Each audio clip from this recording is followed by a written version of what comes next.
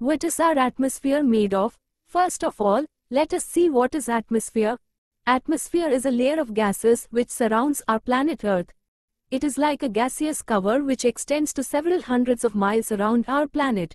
It is a unique reservoir of gases, water vapor and dust particles, which are very important for life on Earth. It acts like an insulator, which maintain the suitable temperatures for life on Earth. It doesn't allow the harmful radiations and particles from space to enter our planet, otherwise our planet will be destroyed by these outer elements. Secondly, it maintains temperature of Earth by absorbing Earth's radiation. But what is there is Earth's atmosphere, which makes it unique? If we compare Earth's atmosphere with other planets' atmosphere, there are many differences which make our atmosphere unique. All the other planets do not have the main ingredient which makes life on Earth possible, and that is oxygen. All the living organisms require oxygen to live. But this gas is not available on other planets, this makes our Earth unique and precious. The other planets either extremely hot or cold. However, the temperature of Earth is maintained by its atmosphere. Our atmosphere is also unique as it is filled with lively sounds of birds, animals, nature and people. As there is no life, the other planets are very quiet.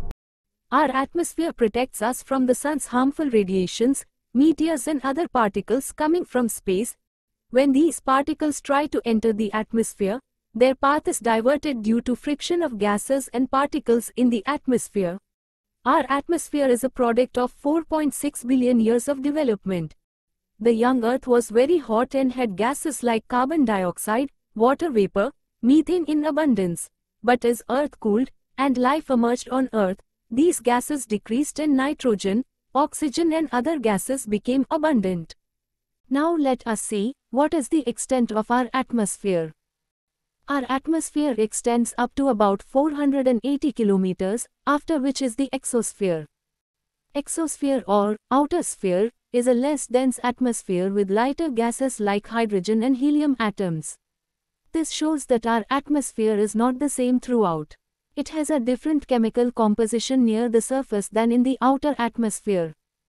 From Earth's surface to a distance of 80 kilometers, the proportion of gases is nearly uniform throughout. This region from the Earth's surface to 80 kilometers is known as the homosphere.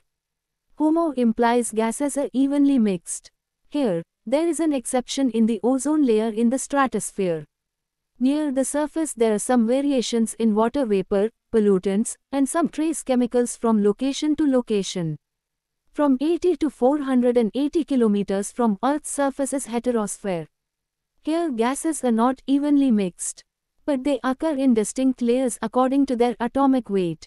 For example, lightest gases like hydrogen and helium are at the margins of outer space, whereas heavier ones like oxygen and nitrogen dominate in the lower region. The heterosphere is quite sparse and has less than 0.001% of the atmosphere's mass. Due to the sparseness of gases, the region is quite calm, so most of the space shuttle missions orbit here. What is our atmosphere made of and which gases are there in our atmosphere? The atmosphere is the mixture of many gases and water vapor, particulates, and aerosols.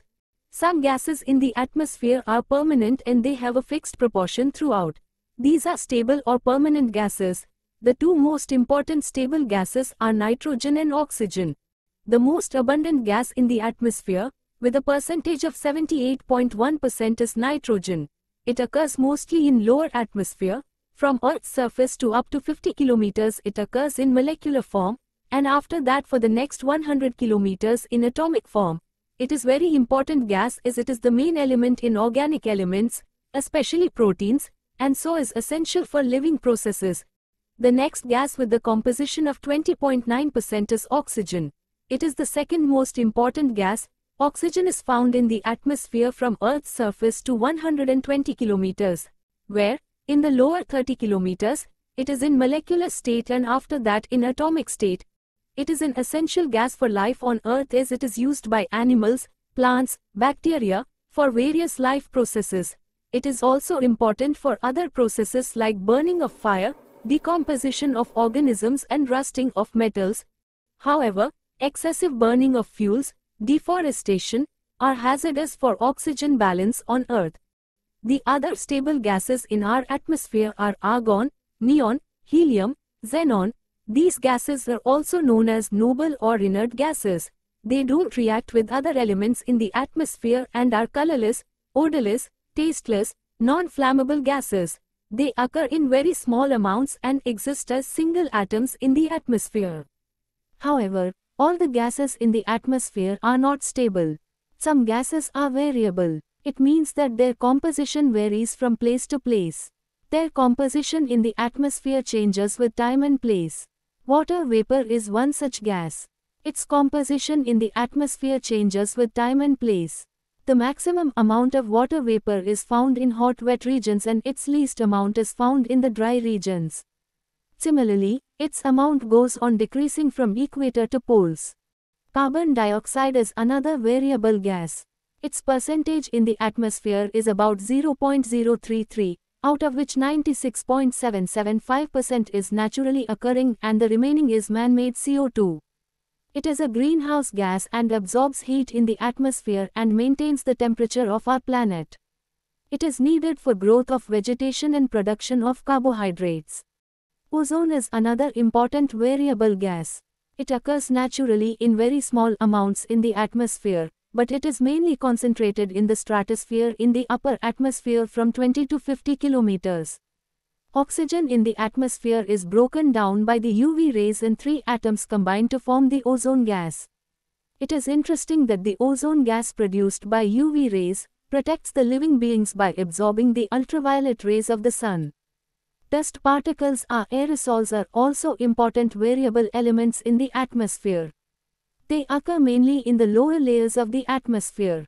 As these particles are in the form of sand, smoke and oceanic salt, particles from volcanic eruption or smoke particles from human activities.